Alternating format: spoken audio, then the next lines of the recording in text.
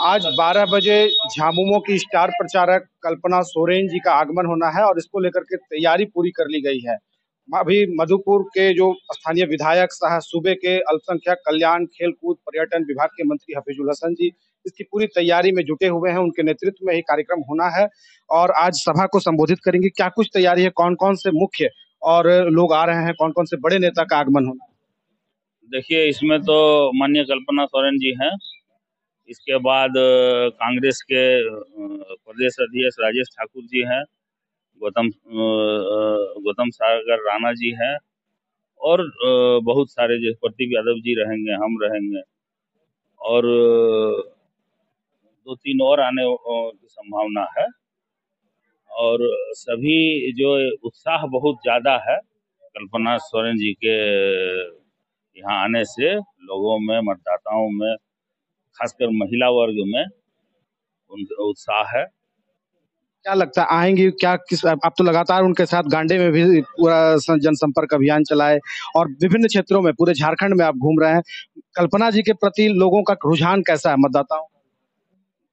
देखिए अभी हम लोग जहाँ भी उनके साथ घूमे देखिए उनका जो बातचीत करने का जो अंदाज है और लोगों का जो अट्रैक्शन उनके प्रति है वो काबिल तारीफ़ है, लाजवाब है और अभी आप, आज ही उनका पाँच प्रोग्राम।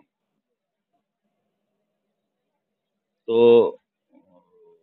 उनके प्रति लोगों का आस्था है और आक्रोश जो माननीय हेमंत बाबू जी को जेल में डाल दिया गया है उस पब्लिक में आक्रोश भी है।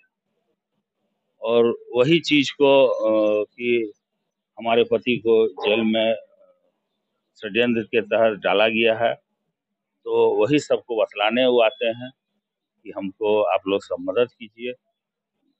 बस यही साफ़ तौर पर में कल्पना सोरेन जी झारखंड में एक महिला नेत्री के रूप में उभरी हैं और पूरे झारखंड में उनका एक अलग ही वो मतदाताओं को आकर्षित करती हैं अपने संबोधन से, अपने भाषण से और जिस प्रकार से झामुमो के खिलाफ जो झामुमो आरोप भाजपा पर लगा रही है, भाजपा ने षड्यंत्र के तहत पूर्व मुख्यमंत्री हेमंत सोरेन जी को जेल भेज दिया।